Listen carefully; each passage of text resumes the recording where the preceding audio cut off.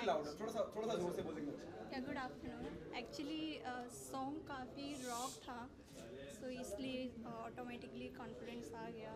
काफ़ी अच्छा सॉन्ग है एंड इस प्रोजेक्ट के लिए हमने काफ़ी मेहनत की है। सो so, आप सुनेंगे आप देखेंगे। ओके uh, काफ़ी अच्छा सॉन्ग है एक्चुअली काफ़ी रॉक एंड हॉट सॉन्ग है।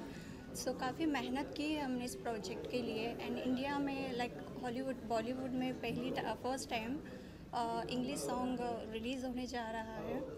और ये मेरा फ़र्स्ट प्रोजेक्ट है। Thank you lawn and thank you Manoj and thank you media okay okay, बहुत बहुत बोल्ड सीन है। यू नो हम बोल्डनेस की बात करते हैं। बोल्डनेस के सारे पैमाने अलग एक अलग लेवल पे चला जाता है। जब हमने यू नो हमने सबने देखा अंदर। एक being a lady being a female artist कितना कंफर्टेबल और अनकंफर्टेबल जोन था आपके लिए? या बिल्कुल यूँ यूँ हो गया? एक्चुअली अनकंफर्टेबल नहीं था। हम ऑल्सो बिकनी मॉडल्स और ये मेरा पहला प्रोजेक्ट था और मैं काफ़ी कंफर्टेबल थी मिस्टर लाइन के साथ में। मुझे ऐसा कुछ फील नहीं हुआ। ओके क्या ब्रीफ था? यू नो डायरेक्टर का brief wanna answer before her, Yeah, sure. but she, she an actor, you know. She just acted in this song, so it's all about. It's not about like comfortable or uncomfortable. As I said, we are Comfort- human. We can be uncomfortable का कोई zone नहीं comfortable था। or uncomfortable. But she's an actor, so she did her job as she can. Very well, she has done I, that. I, I, I know I agree. I appreciate what you're saying, but when I was talking about being a female, there are there are there are scenes, there are shots which we have seen. You know, might be get a female into uncomfortable. Yeah, zone. sometimes that's What was the happened. director brief and how she convinced? Yeah.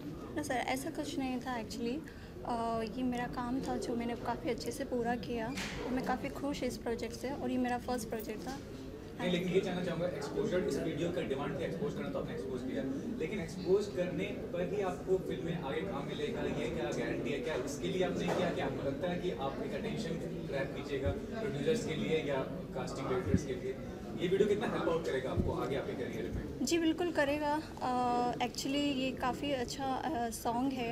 और मुझे उम्मीद है आके बॉलीवुड में मुझे like movie मिल सकती है या अदरवाइज़ कोई और सॉन्ग मिल सकता है। सो so, मुझे मिल सकता है। I hope so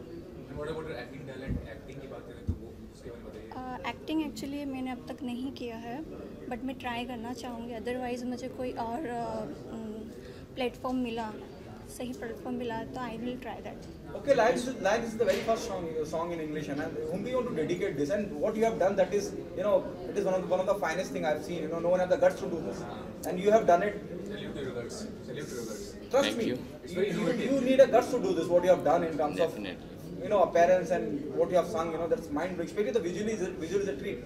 Whom do you want to dedicate this? people made me to do this they forced me to do this you know people always rejected me always said you can't you're a child so you can't talk between those you know big people that's not true like you can get inspiration from everyone a child also can teach you you know anyone can become your teacher. Not only if he or she is an aged person they only will teach you. A child also can teach you. So that, that's why like people forced me to do this so i want to dedicate it to all of you.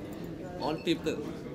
That as people say from their mouth they don't also think in their mind so that's not good Okay, do you do you agree with this? As you said, you struggle a lot in the industry, but no one gave you a chance, and you're the one who started with his own production and came with this album. Do you think nepotism exists in Bollywood?